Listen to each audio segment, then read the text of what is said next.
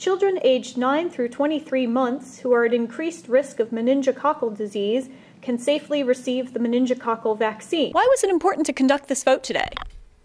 So today's vote for meningococcal vaccine uh, for children at increased risk to, in 9 to 23 months old really extended the age indication down to 9 months for children and adults who are at increased risk for meningococcal disease. So this includes children with complement component deficiencies, children who are traveling to areas uh, where meningococcal disease is highly epidemic or endemic, and um, children who may be part of a community outbreak. The one group of kids aged 2 to 55 years old who are recommended for meningococcal vaccine but are not recommended for it at 9 to 23 months are kids with functional or anatomic asplenia.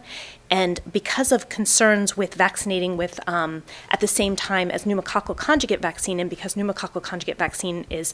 uh, very important uh, for those kids as well, we're waiting to review more data on giving those two vaccines at the same time before we lower the age indication for kids with functional or anatomic asplenia.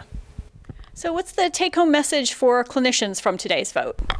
So, clinicians who see children down to age nine months of age uh, who are at increased risk for meningococcal disease, uh, especially children with complement component deficiencies, including uh, C3, C5 through C3 through C9, properdin and uh, factor H deficiencies should give their children two doses of meningococcal vaccine, uh, three to three months apart, uh, as well as uh, children they may be seeing who are traveling to either the Hajj or to areas uh, in the world, including the sub Saharan uh, meningitis African belt.